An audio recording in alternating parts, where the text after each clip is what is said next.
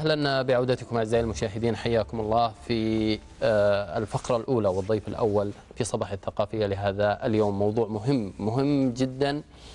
آه، يهم كل آه، أب يهم كل أم يهم كل مربي يهم الوطن بشكل عام يهم المجتمع ألا وهو ثقافة الطفل والهوية.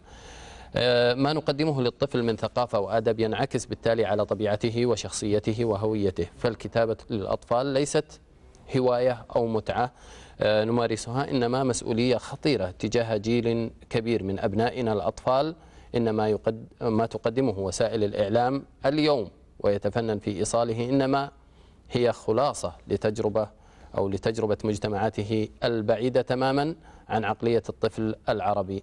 اليوم معي في الأستوديو الأستاذ التربوي عبد الواحد العلواني. سنتحدث عن ثقافة الطفل. ماذا قدمنا للطفل؟ هل الطفل العربي فعلا فقد هويته من خلال ما يتلقى من الآخر. هل نحن هل قمنا بالأمانة كما يجب على هذه آه، آه، الشريحة الكبيرة من المجتمع فلذات أكبادنا؟ ماذا يجب علينا؟ الواقع والمأمول. حياكم الله أستاذ عبد الواحد سعيد بأن تكون معي. حياك الله يا أهلا بك أهلا وسهلا.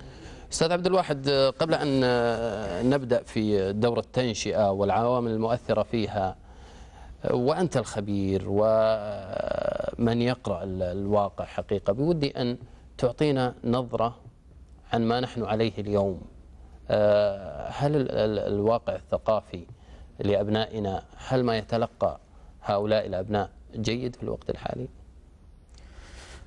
حقيقة أنا كنت أتمنى أن أكون متفائل إلى حد ما ولكن للأسف لا توجد حتى درجات أحيانا ربما قليلة حتى من التفاؤل بسبب عدم عدم اعترافنا حقيقة بأن هناك مشكلة أص- أصلا في الطفولة وعدم اهتمامنا ب- بهذه المسألة وعدم مراجعتنا حقيقة لكل معارفنا السابقة عن الطفولة نعم. آه هذا الأمر يؤدي بالنتيجة إلى آه إلى إلى إهمال هذه الطفولة أو التعامل معها حقيقة بطريقة غير مناسبة أو غير ملائمة أو غير متجاوبة حتى مع العصر حتى صحيح. غير متجاوبة مع هوياتنا الخاصة.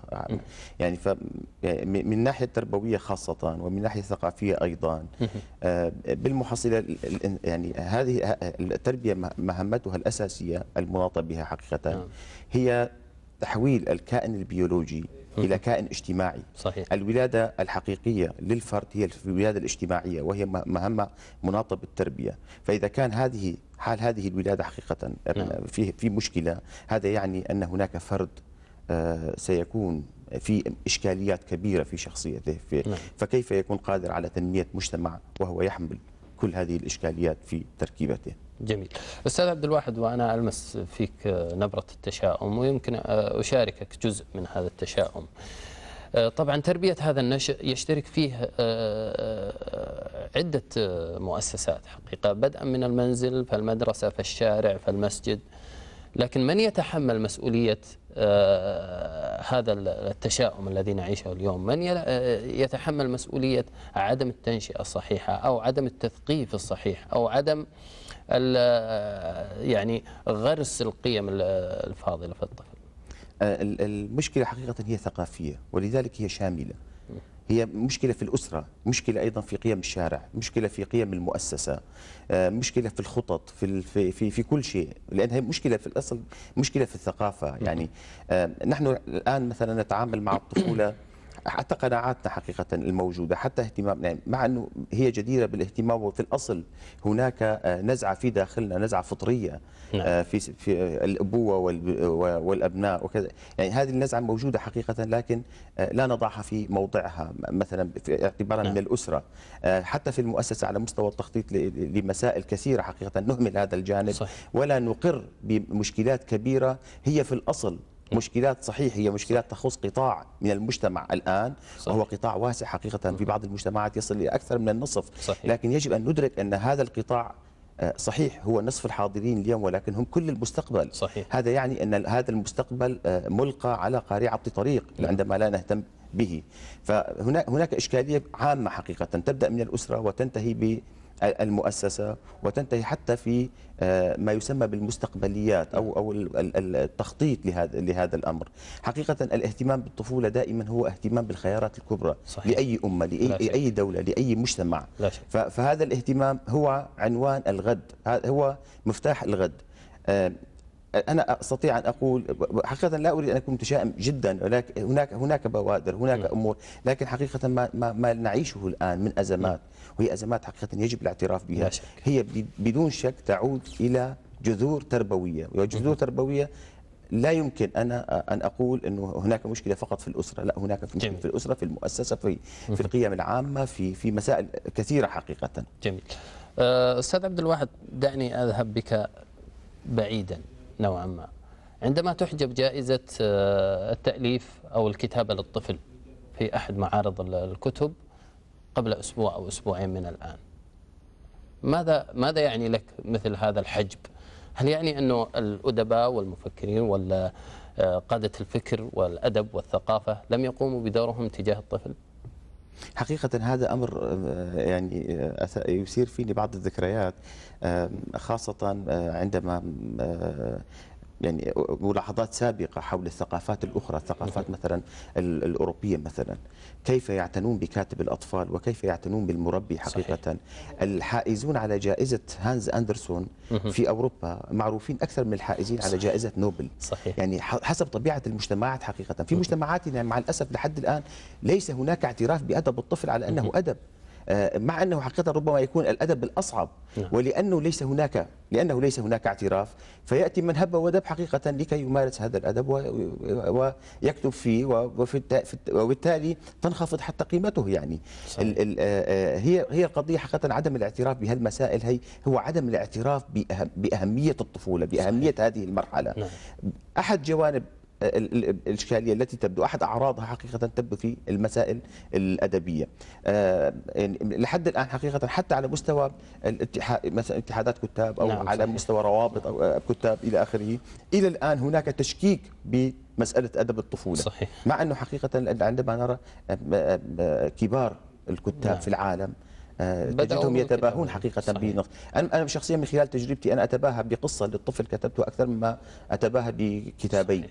جميل. يعني حقيقة أنا أفرح ب- ب- بقصة أنجزتها ب- ب- بطريقة جيدة كذا جميل. ه- هذا الأمر غير- حقيقة غير متوفر في ثقافتنا وهذه مشكلة آه، مثل هذا الحجب يعتبر آه، مؤشر خطير لمستقبل مظلم نوعا ما يعني نحن نحن ك آه، نحن أمة حقيقة مع- مع- معروفة تاريخيا آه، في مسألة ال- الرواية والقصص والحكاية والحكاية الشعبية وال- أدبنا، تراثنا. أدب أدبنا تراثنا كذا إلى آخره. كل هذه الأمور يعني عندما أجد انه ثقافتي عاجزة عن إنتاج آه، شيء يلائم الطفل أنا حقيقة لا أتوقع أن ثقافتنا عاجزة لكن هناك معايير وهناك أجواء لا تشجع لا تشجع حقيقة على الإبداع.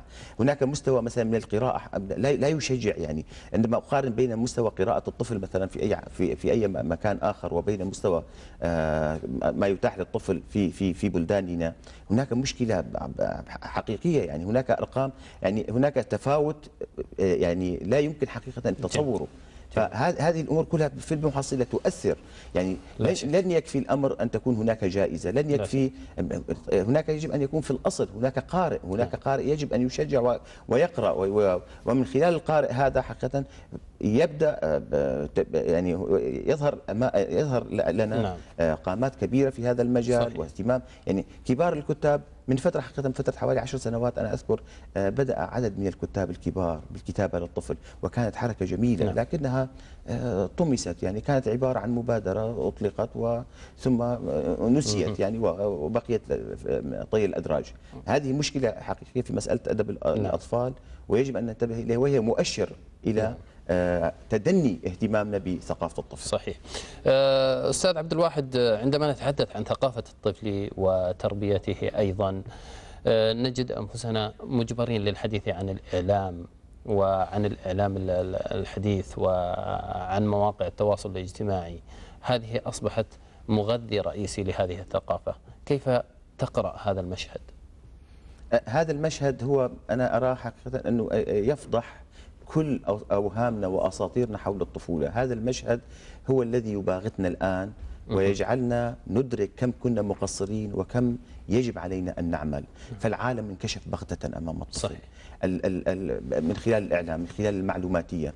هناك آه، آه، أمور كنا نصر عليها مثلا أو نعمل من أجلها آه، خاصة أن التربية في في جانب كبير منها هي عملية تنميط. نعم. بمعنى إنتاج أفراد صحيح. نمطيين ينتمون إلى مجتمع معين هو بهوية معينة ب... آه، آه، ال- الآن هذه الأمور الإعلامية و... و... وأيضا المعلوماتية آه، أربكت هذه هذا الأمر لعدم وجود خطط. أساسا لاستيعاب وليس لرفض لاستيعاب ما يأتينا يعني مثلا آه، الطفل حتى لو لو لو كان تمت تربيته وفق هوية معينة وفق آه، أخلاقية معينة وفق مبنى فكري وشخصي نعم. معين أحيانا ربما فيلم كرتون واحد صحيح. مليء بالبهرجة يستطيع أن يأخذ بعيدا عن هذه القيم من خلال ساعة أو ساعتين من لعبة لونية صارخة آه، تجذب الطفل وتجعله يتماهى مثلا نعم. مع إحدى شخصيات القصة التي في الأصل ربما تكون شخصية ربما مخادعة ربما فيها إشكالية معينة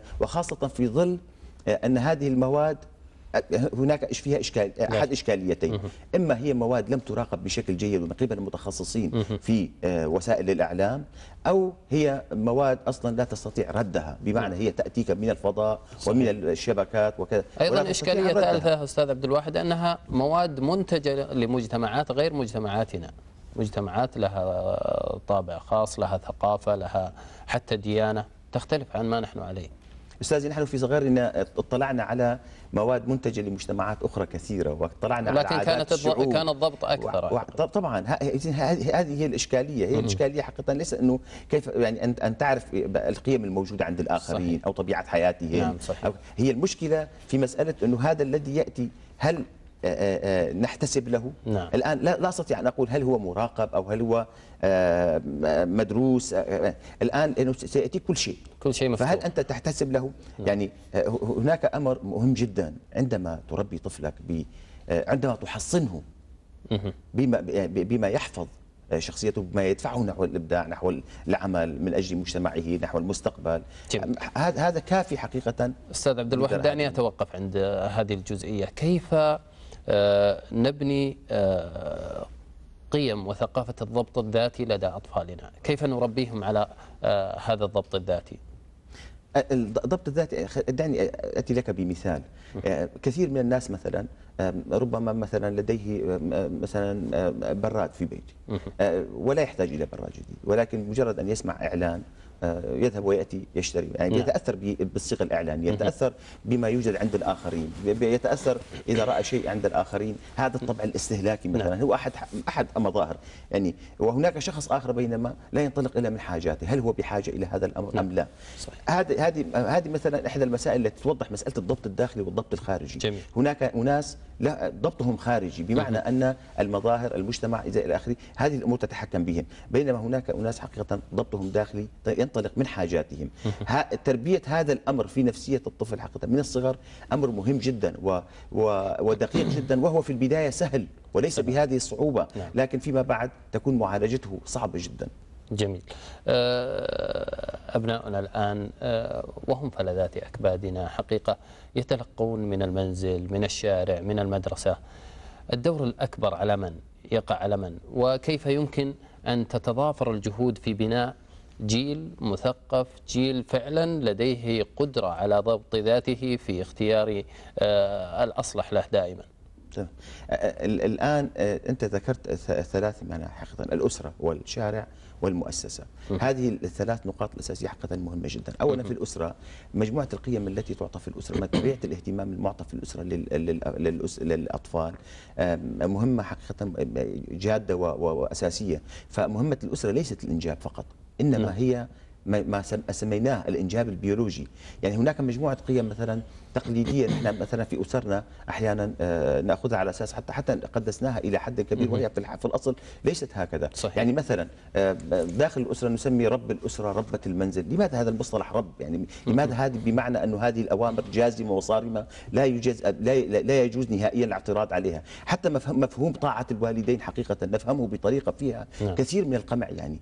آه، هذا هذا الأمر حقيقة يؤثر يؤسس نوع من ال- من الرفض أحيانا داخل نعم، الآخر صحيح. نوع من العنف حتى المبكر أحيانا أو كثير من الحالات يعني لماذا هذه الأمور لا نراجعها مثلا صحيح. ال- الأمور الأخرى قضية ال- ال- ال- الإهمال الوالدين مهما انشغلوا مهما كان هناك مهمة أساسية مناطة بهم هي مهمة الاهتمام بالأطفال صحيح. إن لم لم لم تكن لديك القدرة أن تنجب طفلا لا تنجب طفلا صحيح عندما تنجب نعم. طفلا يجب أن تهيئ نفسك نعم. لكي تربيه.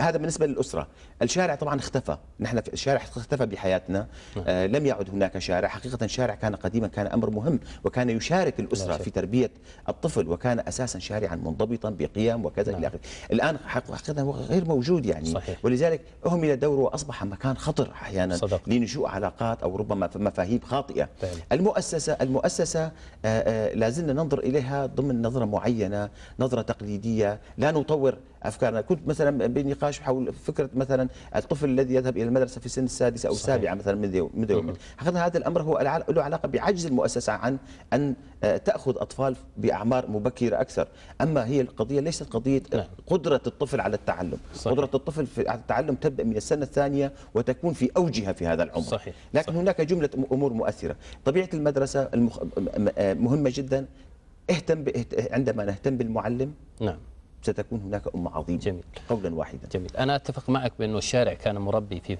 فترة من الفترات بالأمس القريب آه، في المسجد كان بعض الأطفال يصدرون أصواتا ولم يحرك أحد ساكن ولم يوجههم أحد. كنت أسولف أنا وبعض الشباب فكانوا يقولون في زمن كان الجار يضرب ويعاقب ويوجه آه، ابن جاره.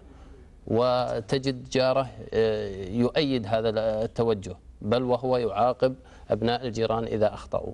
الآن انعدمت هذه ال- ال- المفاهيم أو آه، الحقيقة لنقول أنه حتى الجوار لم يعد كما كان سابقا. أخي الآن آه، إذا آه، يعني في مقولة تقول الآن ال- الابن الأول يربي الوالدين. صحيح. ثم الوالدين يربون بقية الأبناء. هذا أمر حقيقة يتعلق بطبيعة حياتنا المعاصرة وليس حياة القديمة. حتى داخل الأسرة كان ال ال آه، الشاب يتزوج والفتاة تتزوج وينجبون الأطفال ولم تكن مهمتهم تربية الطفل الأول أو الثاني. كان الجد والجدة وحقيقة هم كانوا يدخلوا في آه، دورة لت- للتأهيل تأهيل للوالدية من خلال مراقبة آبائهم كيف يتعاملون مع مع الأحفاد. صحيح.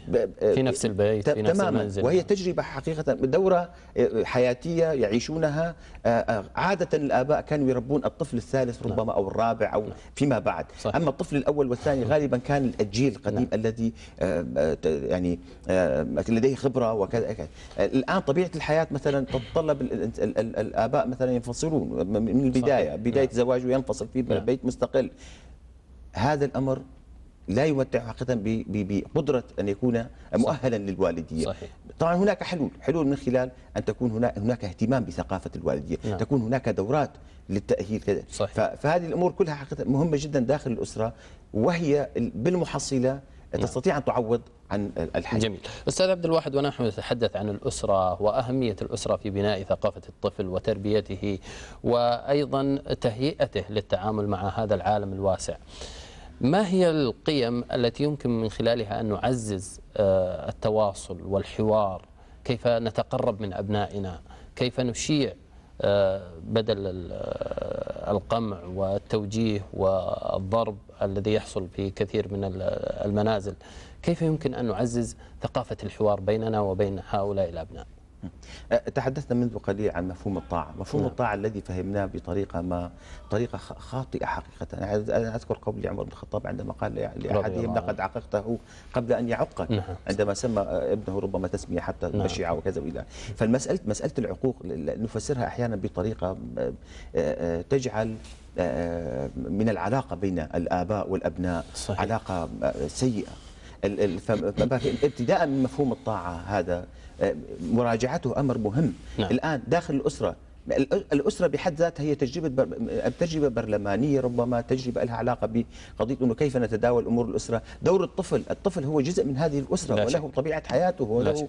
أموره. ه- هذا الطفل يجب أن يت... يتمتع بنوع من الرأي داخل هذه الأسرة. يكون له نوع من الحضور. على الأقل يختار حاجاته يختار ب... يوجد هناك توجيه بكل تأكيد لكن مسألة الفرض دائما فيها إشكالية. مناقشة أمور الأسرة هي نوع من التمهيد لكي تدخله حقيقة في مسألة نعم. أنه كيف يناقش القضايا الكبرى لمجتمعه مستقبلا. عندما تعوده على الحوار فأنت لا تعوده فقط على الحوار داخل الأسرة تعوده نعم. على الحوار داخل المجتمع. صحيح. وهذه الأمور مهمة جدا حقيقه أن نعيد إلى آه، آه، إعادة بناء مفاهيمها. مسألة الآخر مسألة الحوار نعم. مسألة آه، ال- ال- الاختلاف الاختلاف الثقافي أو الاختلاف كل هذه الأمور مهمة جدا لكي يستطيع أن الطفل الآن حتى لا يعني لم لم يبقى فقط معزول أو في داخل مجتمع معين الآن هو ينطلق وهو في منزله لا شك. إلى آلاف المجتمعات لا إلى شك. آلاف الثقافات لا شك وأنت تتحدث عن انطلاق الطفل إلى كافة الثقافات وكافة المجتمعات من خلال الأجهزة الموجودة في منزله هذا آه، يولد سؤال آه، عن وسائل الإعلام ونحن نتحدث عن الطفل العربي بشكل خاص ماذا تقدم وسائل الإعلام لهذا الطفل؟ هل ما تقدم كافي لقيادة الطفل إلى آه، العالم الخارجي وتعريفه بالعالم الآخر بشكل جيد؟ هل ما يقدمه الإعلام في الوقت الحالي هو فعلا آه، يدل على أنه إعلام مسؤول تجاه هذا هذا الطفل؟ يعني أعتقد إلى حد ما هناك شيء يقدم يعني حتى لا لا تكون الصورة السوداء يعني تماما هناك شيء يقدم. لكن من ناحية المسؤولية حقيقة عند- عندنا إشارات استفهام كثيرة. آه، الكثير من المواد يكون فيها إشكالية كبيرة و وتبث ربما تساوقا مع مع شهرتها ربما صحيح. أحيانا مع انتشارها مع لا يعني لا يوجد هناك نوع من التبييء لهذا العمل نعم. بحيث إنه هذا العمل حتى وإن كان عمل مشهور في العالم أو يت- يتم تبييئه بحيث يكون مناسب للبيئة اللي نح- نحن نعيش بها بحيث لا تخلق نوع من ال- التناقضات داخل نفس الطفل وتجاه مجتمع معين تجاه قيم معينة نحن نريد أن تستمر. نعم. فمن هذا هذا الباب أنا أعتقد أن أن هناك نوعين. إما هناك إعلام لا يعتني بالشكل وبالجذب وما إلى ذلك ويكون في نوع من المسؤولية. أو يكون العكس تماما يعتمد على البهرجة والجذب والى اخره ولا يوجد فيه مسؤولية. نعم،. هذا حقيقة المادتين فيهم فيهم فيهما إشكالية. إشكالية آه، كبيرة. ويجب أن يك- نحتسب أن نأخذ إيجابيات ال- المادتين. جميل. آه، طبعا لكي نبني جيلا مثقفا آه، جيلا يقود المستقبل طبعا. ما الذي يجب على جميع المؤسسات المعنية بتربية هذا الطفل؟ بدءا من المنزل فالمدرسة فالمسجد في الشارع كل المؤسسات المثقف آه، المحاضر في الجامعة كيف يمكن أن نبني هذا الجيل بما يتوافق مع متطلبات العصر؟ أخي الكريم ال ال ال آه، فعلا أعود إلى إلى إلى إلى, مع حديثي. الأطفال ليسوا أسطورة هم واقع. صحيح. هم واقع نحن نراه. ونعيش معه نحن مع الأسف نتعامل صحيح. مع الأطفال تعامل افتراضي كأنهم حالة افتراضية كأنهم حالة يعني لا يعني نتحدث عنهم وكأنهم س سينتهون إلى نتيجة معينة حتى وإن تدخلنا وإن لم لم نتدخل. نعم. بينما الواقع أنه إن لم نتدخل في هذه الثقافة لن يتحسن وضعها. إن لم نرسم لها الخطط الكفيلة لن يتحسن وضعها. إن لم نهتم بكل شيء يتعلق بالطفولة نعم. ولم نعطيه الاهتمام مس- م- ليس فقط للطفولة بكل شيء يتعلق بالطفولة يعني مثلا الاهتمام بالمعلم هو اهتمام بالطفولة. الاهتمام بالمدرسة هو اهتمام بالطفولة الاهتمام بالحدائق هو اهتمام. بالطفولة أتفق الاهت- معك الاهتمام تمام. بكل الأمور التي تتعلق بالطفولة الاهتمام الكافي وال- والمهم هذا الحال لن يتغير لا يمكن أن تتغير المجتمعات من سوية حضارية لا شك. إلى سوية أخرى إلا من خلال العناية بالفرد في يتعلق. نشأته نعم. وكما وكما قلنا يعني نعم. الأطفال هم في الأصل أنت الآن عندما آه، تكون حريص على تحسين وضع الأطفال فأنت تحسن حال نصف المجتمع صحيح لكن أنت تؤسس للمستقبل بكامله. لأن هؤلاء هم المستقبل بأكمله يا سلام إذا الاهتمام بكل ما يتعلق بالطفل هو الاهتمام بالطفل أنا أتفق معك تماما وهذه المقولة يجب أن فعلا آه، يشار إليها دائما ويوجه ال- ال- الإعلام إلى هذه العبارة بأنه فعلا الاهتمام بالمعلم هو اهتمام بالطفل الاهتمام بالشارع هو اهتمام بالطفل الاهتمام بالحدائق أيضا هو اهتمام بالطفل لأن الطفل هو من سيقود هذا الركب وسيقود المستقبل فعلا. أخي الاهتمام بالطفل آه، هو له دلالات كثيرة. نعم. الاهتمام بالطفل أحيانا يدل حقيقة على نمو مجتمع معين نعم. على حالة ثقافية جميل. يعيشها. أحيانا حتى على مستوى مستوى ال إهمال الطفولة أحيانا. يعني نحن الآن مثلا في هذه الأيام نشاهد حقيقة مشاهد قاسية. في نعم. في في في أماكن مثلا في سوريا جميل. أجساد الأطفال مكومة لا مقتولين بطريقة همجية لا يب... الآن سكوت هذا العالم يدل على انه هناك انحطاط على مستوى الحضارة لا شك. لا يمكن انه هذا المشهد حقيقة أن يم- يمر هكذا مرور الكرام نعم. هذا المشهد يجب البحث فيه يجب منعه يجب محاسبة مثلا كل عدم الانتباه لهذا المشهد هذا يدل انه هذا يعني الحضارة التي نعيش فيها حقيقة لا زالت تعاني من من حالة انحطاط فظيعة صحيح. لذلك أنا أقول حقيقة موضوع الطفولة والاهتمام بالطفولة وحال الطفولة دائما يكشف طبيعة الثقافة التي نعم. نعيشها طبيعة الحضارة التي نعيشها طبيعة المجتمع الذي صدق. نعيش فيه أو طبيعة حتى البيئة ال- ال- الخاصة والبيئة العالمية أيضا التي صدق. نحيا فيها أستاذ عبد الواحد بودي أن تعلق على بعض العبارات وأنت ذكرتها في ثنايا حديثك لكن آه، لنوجه رسائل مختصرة للمشاهد الكريم للأب الذي يسمع هذا البرنامج للأم للمعلم أيضا آه، للطفل نفسه. آه، بودي أن نوجه بعض الرسائل. إن هوية الطفل آه، تنمو نتيجة لتفاعله مع من حوله. في البيت أولا ثم في الحضانة والروضة والمجتمع الأوسع. هي الهوية الحقيقية للطفل في الأخير يعني ترتكز إلى أمر مهم جدا. نعم. هي الحلم. الح- ال- ال- الهوية بحد ذاتها مرتبطة بالحلم بشكل أو آخر بمعنى أن آه، كيف أن يكو- يكون له حضوره في آه، العالم في المجتمع في في في, في كل ب- بصيغة آه، تخصه نعم. بخصوصيته بهذه الأمور فعمليا م- مسألة الهوية مهمة جدا في في آه، في في هذا الإطار بشرط أن لا نفهمها أيضا أحيانا بطريقة مغلقة. صحيح. الهوية ليست شيئا ثابتا. الهوية بحد ذاتها متحركة. ال ال ال طبيعة الأسرة بحد ذاتها أحيانا تزرع بعض الأمور جميل. تتعلق بالهوية مثلا تجعلها أحيانا بعض الأمور التي لا علاقة لها بالهوية تجعلها ضمن مسألة الهوية وهي ممتاز. ليس ليس لها علاقة ممتاز آه، يبني الطفل خلال مسار نموه رؤية رؤيته الذاتية بمركباتها المختلفة فهو يبني تصوره عن ذاته وقدراته الذاتية عما يحب وعما يكره وعن ميوله ورغباته في انتمائه هذا كله يبنيه الطفل خلال نموه. ما دور الأب والأم والمؤسسات كما ذكرنا أيضا في المساعدة والمساهمة في هذا البناء. ال- الطفل آه، أصلا الطفل يبدأ بتعليم ذاته ولا ينتظر الآخرين صحيح. الطفل عندما يلعب وعندما يلهو و- ويحاول أن يخطو خطواته و- ويقع ويتعرض أحيانا لبعض المخاطر وإلى هي وسيلته للتعرف إلى الحياة هذا اللعب بحد ذاته هو هي طريقته للتفاعل مع الحياة واكتساب الخبرة وما إلى نعم. ذلك الآن دور دور الآباء ودور الأسرة هو لا يحد من هذه القدرات بالدرجة الأولى. نعم. دعني أقول لك شيء. نحن دائما نقول أحيانا في في في حياتنا بعض المفاهيم الخاطئة على مستوى الأسرة أنه يجب على الآباء أن ينزلوا إلى مستوى أبنائهم. أنا أقول لك قولا واحدا على الآباء أن يرتقوا إلى مستوى أبنائهم. نعم صحيح. وليس أن ينزلوا. بمعنى القدرة الموجودة عند الطفل حقيقة تفوق قدرة. أن- من خلال أحيانا بعض التجارب التعليمية اكتشفنا أن عند الطفل بعمر السنتين أو سنتين ونصف آه، قدرة هائلة ربما تتجاوز قدرة 50 عالم من كبار علماء الكرة الأرضية صح.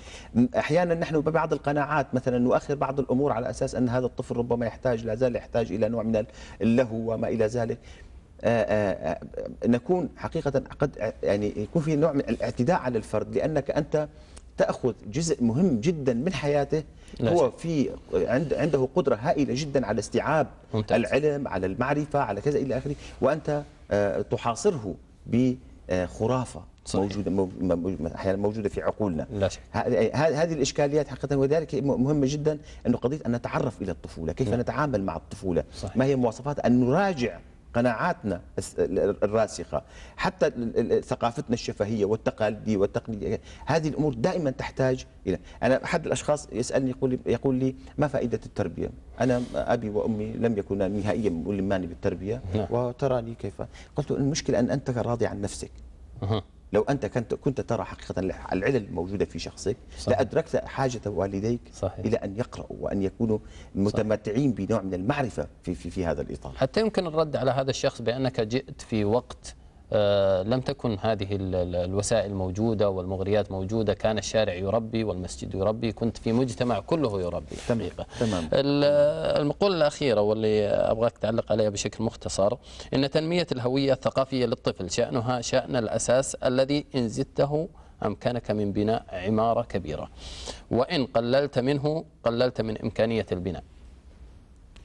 هذا هذا أمر يعني إحنا دائما خاصة بطبيعة الحياة المعاصرة نجد إنه الآباء والمربين دائما يشتكون من قلة الوقت من من كثرة الانشغالات وكون التربية تحتاج إلى نوع من التركيز صحيح. نوع من الوقت نوع من كذا هذه الأمور حقيقة صحيحة وهي حقيقية شكوى الآباء أنهم لا يجدون الوقت هي حقيقية نعم. شكوى المعلمين والمدرسين أنهم لا لا يتمكنون من التحضير لهذه المسائل صحيح. لكن هناك أمور آه، بالإمكان أن توفر علينا هذه الأمور. عندما نهتم بالطفل مثلا في الأسرة من الأعمار الصغيرة نعوده على بعض العادات ال- الجيدة. نعم، هذا جميل. هذه الأمور حقيقة تفسح لنا الفسحة. أستاذ عبد الواحد هل يمكن في خلاصة هذا الكلام أن نقول بأن الطفل فقد القدوة في الوقت الحالي؟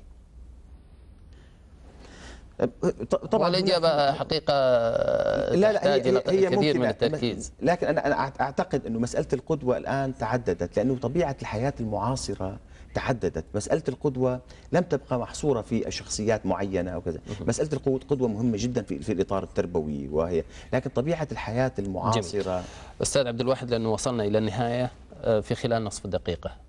آه، كلمة آه، ما يجول في خاطرك تبوح به للآباء والأمهات ممن يشاهدوا هذه الحلقة وموضوع ثقافة الطفل وتربيته.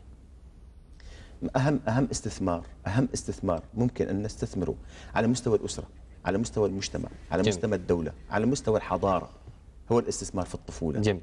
لا شيء يعادل الطفولة.